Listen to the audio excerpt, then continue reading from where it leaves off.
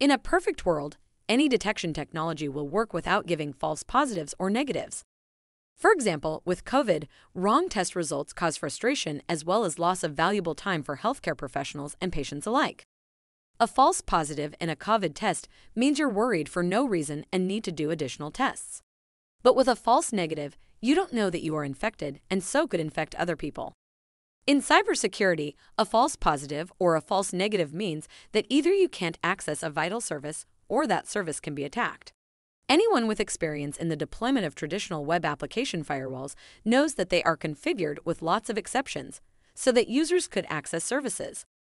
But this often results in ongoing tuning overhead for administrators and services that are vulnerable to attacks because defenses were turned off. To be effective, web application and API protection must be accurate and, yes, activated.